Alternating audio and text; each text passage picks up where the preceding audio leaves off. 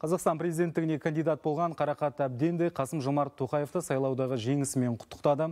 Ол халыққа бірлік пен береке қажет екенін айтып, мемлекет басшысына мықты денсаулық толағай табыс тіледі.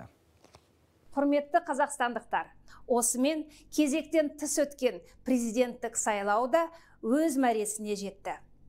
Бұл саяси додада жеңіске жеткен мемлекет басшысы Қасым Жомарт Кемелұлын шын жүректен құттықтаймын халықтың қолдауы бар кезде алынбайтын қамал жоқ. Ел тізгінін қолға алған қасым жомарт кемелұлына қажымас қайрат пен сәттілік тілеймін.